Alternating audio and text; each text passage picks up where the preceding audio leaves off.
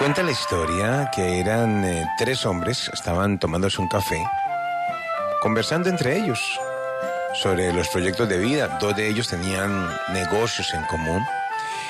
Em, estaban conversando cuando de pronto uno de ellos dijo, ah, estoy más preocupado porque no tengo el dinero para emprender este nuevo negocio que tengo entre manos nos va a dar más, sacó un papel, les hizo como las cosas contables y daba al negocio buen dinero. Y estaba muy preocupado, estaba angustiado, tomaba ese café como, como con ansiedad.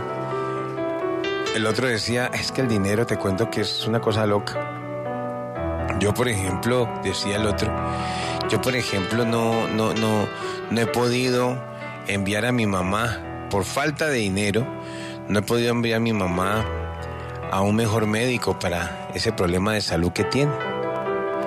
Y la verdad es que ah, el dinero lo es todo. Dios quiera, dicen ellos, Dios quiera que, que nos llegue, pero este dinero es vital.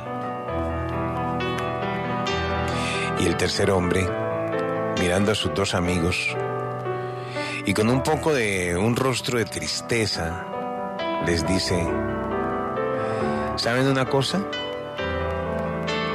Es increíble cómo ustedes dos,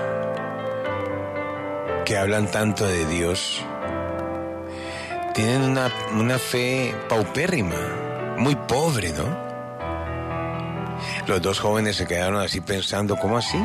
Sí, claro, porque ustedes hablan mucho de Dios y eh, le dicen a todo el mundo que crea en Dios, que la Biblia, que rece, que ore, que haga alguna cosa, la otra, pero mm, los veo dudando mucho.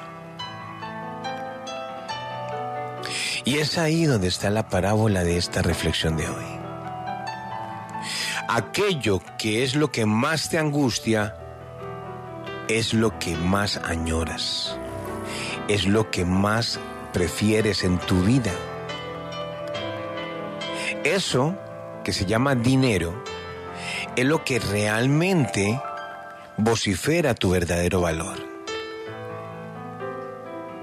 Ninguno de estos dos hombres en la conversación colocó a Jesús por delante. Nadie necesita a Jesús, la gente necesita dinero. Nadie necesita a Dios. La gente necesita es dinero. Para comprar, para ir, para obtener, para darme, para llevar, para dar. Es la verdadera conciencia de los seres humanos. No es la fe. No es decir, ah, como me hace falta de, de una bendición para que se mejore mamá o me mejore yo como me falta pensar en otro en otra jugada para poder conseguir junto a Jesús esta situación de vida. No, el dinero es la palabra inicial de los seres humanos. Así que para usted el dinero, el Dios dinero, el Dios poder, está por encima de Jesús. Ya en tu soledad y en un dolor y una cosa lo llamarás, pero en una conversación del día a día, en una situación, el dinero es por lo que usted pelea. Usted no pelea para quitarle la fe a alguien. Y me acuerdo cuando a veces le he contado a algunas personas que cuando veo esos cristianos, amigos que tengo cristianos que se ven muy tranquilos, digo, ah, tan bacana esa, esa, esa paz de esa persona tan chévere esa tranquilidad de esa persona. Eso es desear, pero no. La humanidad quiere es la plata de esa persona. La gente quiere es dinero, realmente. Y usted mira y todo se basa en dinero. Su conciencia se basa en dinero. La gente dejó de tener ideales.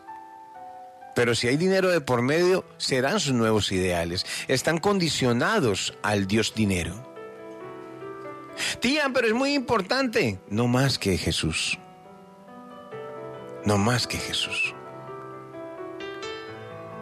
Espero que esta reflexión de hoy de verdad les entregue esta unción de fe, esta unción de creer en lo que no ves, pero en que sientes tu corazón y tu alma.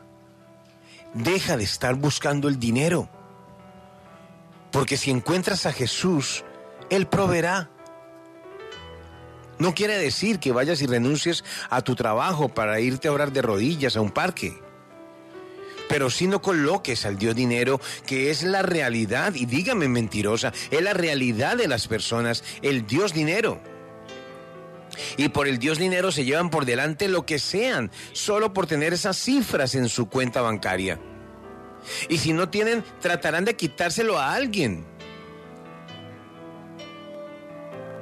Y eso es mal. Eso es mal.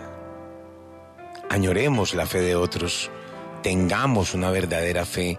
Sintamos realmente lo que podemos crear cuando tenemos a Jesús de por medio. Deja de estar pensando en cuánta gente te paga o en cuánta gente te deja de pagar.